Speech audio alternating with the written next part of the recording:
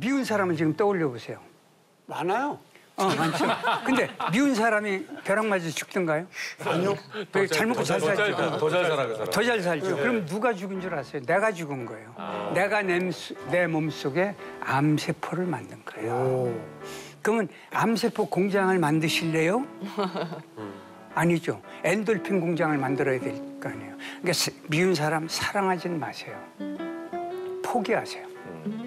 그럼 미운 사람한테 매달리면 내가 그 사람의 노예로 사는 거예요.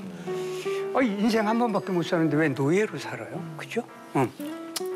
지금 살아 있고 이름 여, 여러분 여기 오신 거 텔레비전을 보시는 거 이거 기적이에요. 근데 이 기적을 인식하지 못하는 거예요.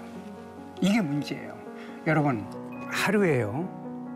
그 이게 맥박을 재보면 알아요. 심장이 보통 하루에 10만 번 이상 뛰어요. 숨 쉬는 게 2만 번 이상이에요. 그러면 웬만한 좋은 기계라도 고장이 났을 거 아니에요.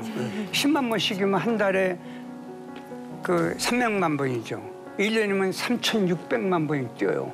그러면 이 나이까지 뛰었다. 그러면 이미 고장 났어야 돼요. 그럼 멀쩡하잖아요. 그러면 고마워해야 되죠. 그러니까 내 인생을 기적을 읽었으니까 고마워한 사람, 이 사람이 재밌게 사는 거예요.